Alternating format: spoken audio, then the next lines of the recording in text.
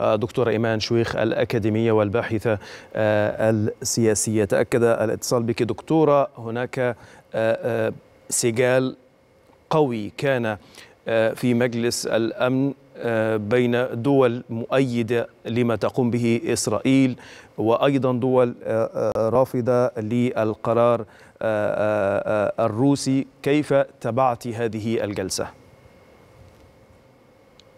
صباح الخير لك ولضيفك ولجميع مشاهدي قناة القاهرة الأخبارية. طبعا يعني هذه الجلسة غلب عليها الطابع السياسي للأسف وليس الإنساني وهي أحوج أن تكون الآن إنسانية بالدرجة الأولى بسبب الوضع الذي يعيشه اليوم الفلسطينيون في قطاع غزة. نحن نشاهد يعني حجم المأساة الكبيرة أكثر من 2000 ضحية وعشرة وأكثر من عشرة ألاف جريح ودمار ولا يوجد أدنى مقومات الحياة لا يوجد مياه سكان غزة اليوم لا يشربون الماء. يعني تريد إسرائيل أن تميتهم ليس بالصواريخ والقذائف إنما عطشا هل هذا الأمر هل هذه المأساة والمعاناة وجرائم الحرب والإبادة الجماعية يعني كانت يجب أن توحد هؤلاء وأن تفرض هذا القرار؟ ليس التصويت أن تفرض هذا القرار. وهذه الهدنة الإنسانية ووقف النار من أجل التقاط الأنفاس من أجل يعني نعلم أن إسرائيل هي مجرمة حرب وترتكب كل هذه المجازر ولكن ماذا عن الدول التي يعني في مجلس الأمن هي كانت تدين الفلسطينيين؟ لا نريد أن نقول تدين حماسية تدين الفلسطينيين بامتناعها عن التصويت لهذا القرار. وبالتالي الجانب الإنساني لم يكن موجودا. كان هنالك تصفية حسابات في هذه الجلسة التي يعني للأسف لم تخرج بأي شيء وبالهدف التي كانت يجب أن تصل إليه وهو تخفيف من حدة هذه المعاناة على سكان غزة وعلى الأطفال الذين يموتون وعلى الأمهات الذين يقهرون على المشاهد التي لم يشهد لها التاريخ مثيلا. نعم.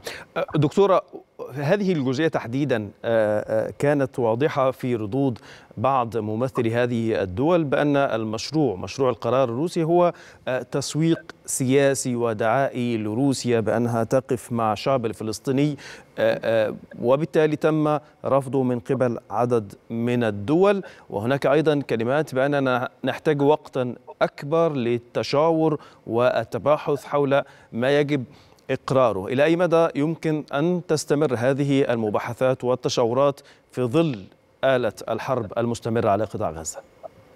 يعني نفس المشهد الذي يحصل اليوم في المنطقة يحصل في مجلس الأمن. على أي حال يعني هيبة مجلس الأمن وقراراته سقطت يعني منذ أمد بعيد. وبالتالي يعني كما يحصل اليوم في في حرب روسيا وأوكرانيا وفي المنطقة وفي التكتلات التي حصلت وأفرزتها هذه الحرب وبعدها أيضا حرب السودان.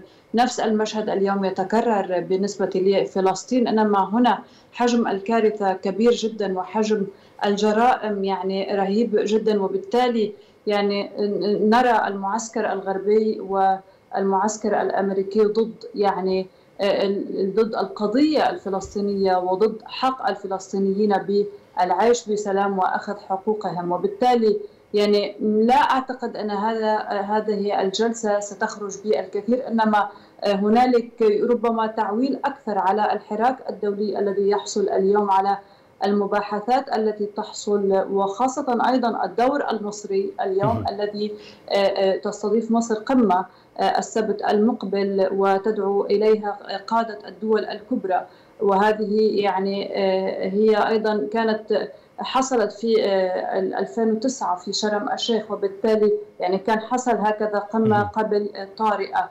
وبالتالي التعويل على هذه القمة وعلى الدور اليوم التي تلعبه مصر سواء كان هنالك يعني لقاء مع بلينكن ومع كولونا وزيرة الخارجية الفرنسية والاتصالات التي يجريها الرئيس المصري. وبالتالي التعويل أكثر اليوم على هذه الاتصالات التي تجرى وأيضا على سير المعركة يعني على الأرض. هنالك اليوم قلق ومخاوف من جر المنطقة إلى حرب إقليمية لأنه عندما نقول أنه قد تفتح الجبهة الشمالية وقد يدخل لبنان.